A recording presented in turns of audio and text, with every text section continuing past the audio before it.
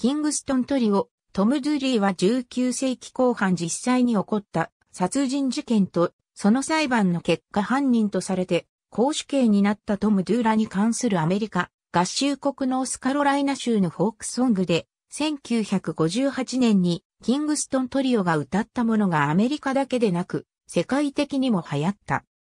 1866年、アメリカ合衆国ノースカロライナ州でローラ・フォスターが殺されて、その愛人で南北戦争の元アメリカ連合国軍人のトム・ドゥーラが犯人とされて、裁判の結果1868年に公主刑になった。ローラはナイフで数回刺されて殺されており、その残忍さからと、この事件は新聞が広く報じたので世間の注目を集めた。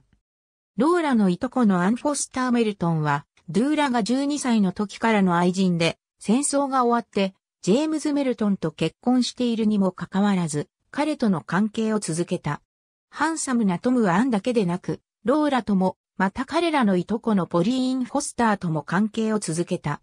ポリーンの証言で、ローラの死体が見つかり、トムとアンが殺人を疑われた。アンはこの事件に関係なかったというトムの証言もあり、無罪になっている。トムの裁判は、ウィルクス軍からステーツビルへ移して行われて、彼は有罪となり、公主刑になった。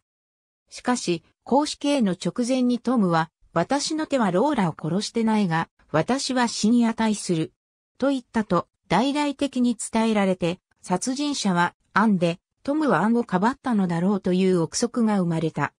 トムの死刑直後、ニューヨークタイムズ紙や、ゼブロン・バンス州知事が、トムの有罪に疑問を呈して、この事件は注目を集めた。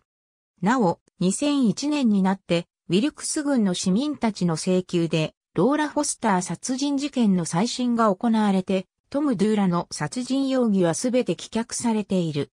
事件後にトマス・ランドが、 Hang down your head, Tom Dooley, hang down your head cry で始まる詩を書いて、トム・ドゥーリーの歌ができた。アパラチア山脈地方の方言では、単語の最後の A は、 I のように発音されるので、トム・ダラがトム・ドーリーになって、主にノースカロライナ州西部で歌われてきた。この歌は何人かがレコード化しているが、1958年2月にキャピトルレコードでキングストントリオが録音したアルバムは、まあまあの売れ行きであった。はじめソルトレークシティで評判になり、その後全米のディスクジョッキーが取り上げるようになり、8月にシングル版が売り出されて、12月までにはミリオンセラーになっている。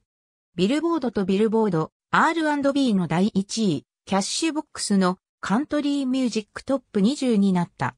この事件と歌については、現在も様々な研究が続けられている。よく引き合いに出されるのは、グランドオール・オプリは、グランドオールド・オペラがなまったものであると言われている。トム・ドーリー。ありがとうございます。